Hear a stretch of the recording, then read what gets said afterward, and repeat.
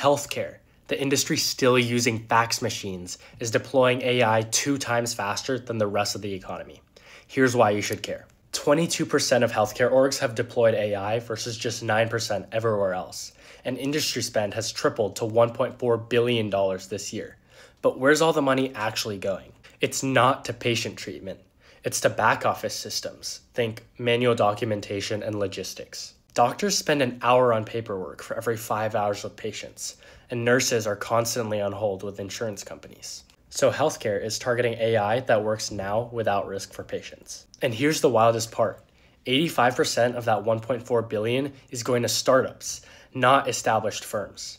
Even though Epic is in 77% of hospitals, AI native startups are winning because they're just faster. There are already eight healthcare AI unicorns. So the industry that has never been software first just became the AI leader. Follow for more life science breakdowns.